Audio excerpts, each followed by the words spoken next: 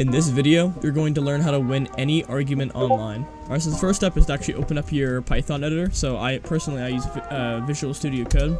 And then you just want to create a new file. So go to file here, go to new file, and then name the file that you want. For an example, I'm just going to do uh, youtube.py. Okay, so now that we got our Python script, open so we're gonna start importing some uh, libraries so so the stuff you want to import is import os import time import JSON, and import requests.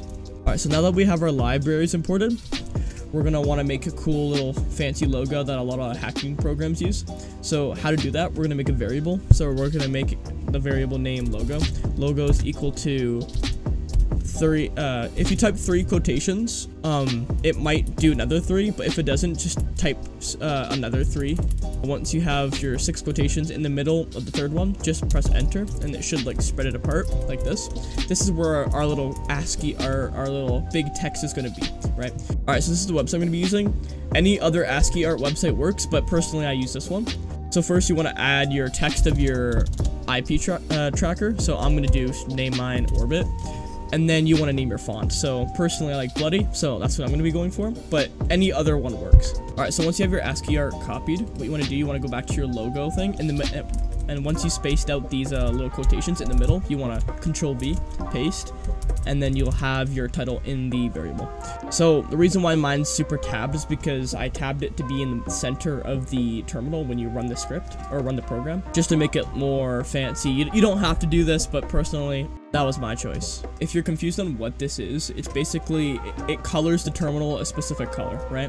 So I use ChatGPT for this. I basically said, uh, try a fade from white to deep red with a smooth gradient. I'm not going to jump into too much in this because it's just going to waste tons of time, but how to get this is, it's basically what the output code is called, is it's called ANSI escape code. So you could just say, hey, give me an ANSI escape code for cyan, bright cyan to dark blue and give me like a fade gradient and then the AI will do it for you or you can do it yourself by going on a website and copying the RGB values. Alright, so I'm going to make a print function just to test the code.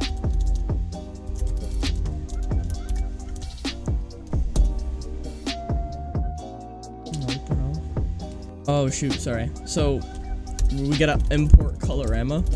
This basically adds color to our program. I don't know how I messed that up. Basically, you just want to import a new library in Colorama, and then I'm going to make a little comment just to keep my pro uh, program organized. You just want to do Colorama dot init, and then brackets. So now, now it should work. So if you do uh, Python and then the name of your Python file, it should display in color, just like this.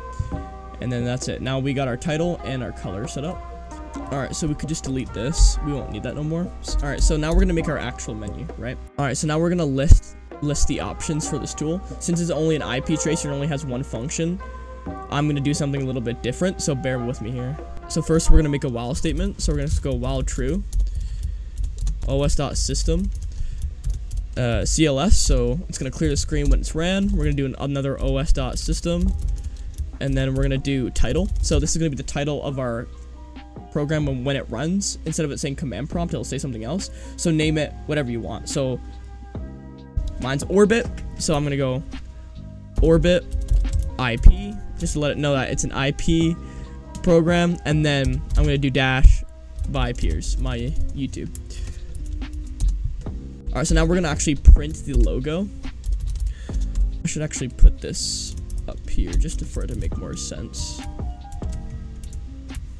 Alright, so we're to create a new variable. So we're to do x is equal to input. I should do press enter to continue. It sounds more like anonymous hacker type.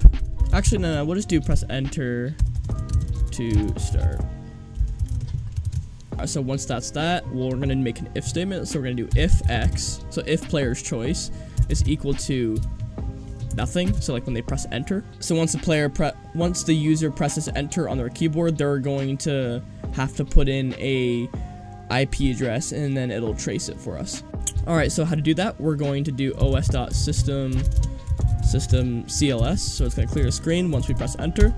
We're going to create a variable called IP is equal to input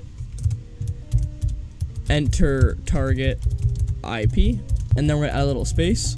Alright, so after our IP variable, we're going to do r equals requests dot get quotations, and inside those quotations, we're to do f quotation, another quotation, sorry, and then we're to have the website that basically traces the IP address for us.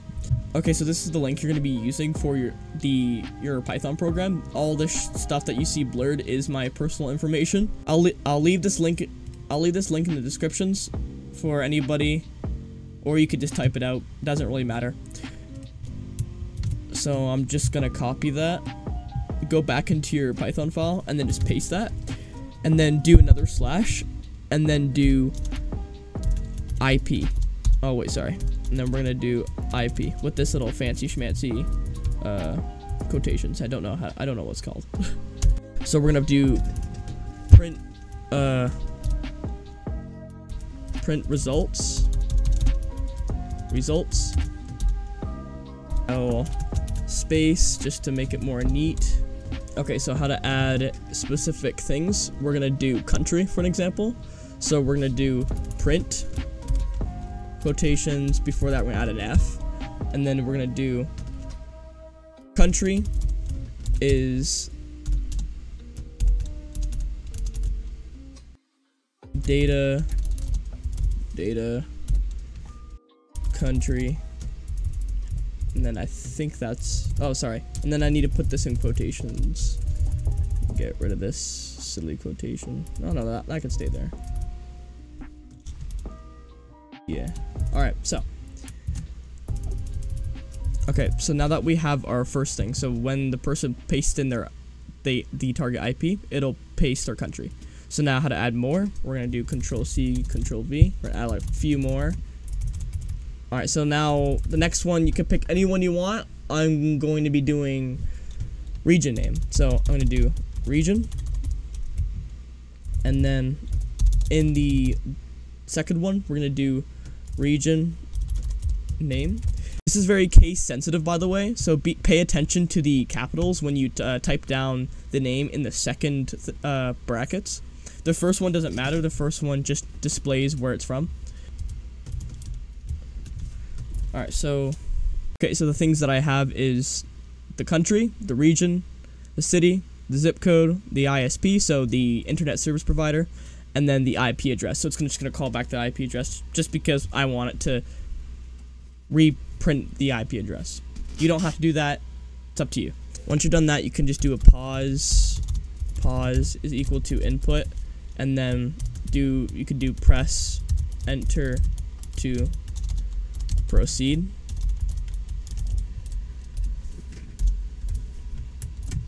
I'm going to control S that just to save it. And then I think you're done.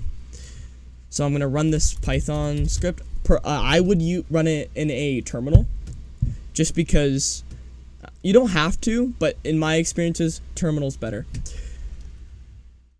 So I'm going to run the Python file.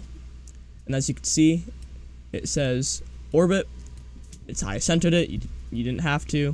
Doesn't matter. It'll say press enter to start. Press enter. I'll say enter target IP address. I'm going to press enter since since it's going to get my machine's device IP address and it's going to trace it. So if I press enter, it's going to show the results and then it's going to get all my private information. So my country, my region, my city, zip code, ISP, IP, everything I put in that Python file. And then if I press enter to proceed, it'll bring me to the main menu. I'm gonna just to make it more fancy I'm gonna just tab or not tab everything sorry. I'm going to space everything out just to make it more make it more neat. So if I run the Python file I press enter enter target IP enter target results it enters that and then the press enter to proceed and then that's it. I hope you guys enjoyed this simple easy quick tutorial. If you have any problems comment down below. I will be more than happy to help you out. If you want to if you want to see more of tutorials like this, comment down below, subscribe, like the video.